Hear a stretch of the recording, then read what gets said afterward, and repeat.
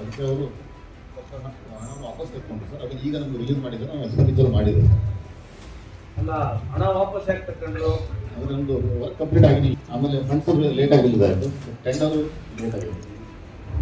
ಈಗ ನಿಮ್ಮ ಟಾರ್ಗೆಟ್ ಪ್ರಕಾರ ನೀವು ಮಾಡ್ಬೇಕಿಲ್ವಾ ಹೌದು sir so asking you, the funds funds delayed or you, delayed because of the fund what is it ಇಲ್ಲ ಸರ್ ನಮ್ಮ ಗುರಿ ಕೊಡೋದು ಲೇಟ್ ಆಗಿ ಕೊಟ್ಟರು ಸರ್ ಅವ್ನ ಫಂಡ್ಸು ಡಿಲೇ ಆಗಿ ಬಂತು ಗುರಿ ಏನ್ ಕೊಡ್ತಾರೆ? ಗುರಿ ಮೊದ್ಲೇ ಕೊಟ್ಟಿರ್ತಾರೆ. ಗುರಿ ಕೊಡೋದು ಲೇಟ್ ಅಂತಂದ್ರೆ ಇಲ್ಲ ಸರ್ ಆರ್ ಟಿ ವ್ಯವಸ್ಥೆ ಮಾರ್ಚಲ್ಲಿ ಒಂದೇ ತಿಂಗಳಲ್ಲಿ ಆಗಲಿಲ್ಲ ಸರ್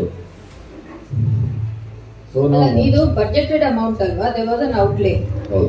ಔಟ್ಲೆಟ್ ಇದ್ರೆ ಟೆಂಡರ್ ಮಾಡೋದಕ್ಕೆ ಮೊದ್ಲೇ ಮಾಡ್ಬೋದಿತ್ತಲ್ಲ? ಡಿಸೆಂಬರ್ ಅಲ್ಲಿ ಮಾಡ್ಬೋದಿತ್ತು ಅಕ್ಟೋಬರ್ ಅಲ್ಲಿ ಮಾಡಬಹುದಿತ್ತು ಟೆಂಡರ್ ಇಲ್ಲ sir madam work central government ಕೂಡ ಹಂಗೆ ಇರುತ್ತಾನೆ ಹಾಗಿಲ್ಲ ಸರ್ ಬಟ್ ಈ ಸ್ಕೀಮಲ್ಲಿ ನಮಗೆ just let me understand so when you coming for seven zero zero eight seven correct ಅಲ್ವಾ?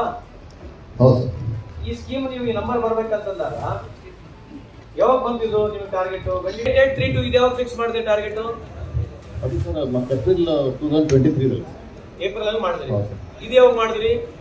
ಇದು ಸರ್ ನಮಗೆ ಸ್ಕೀಮ್ ಸರ್ ನಮ್ಮ ಅಂದ್ರೆ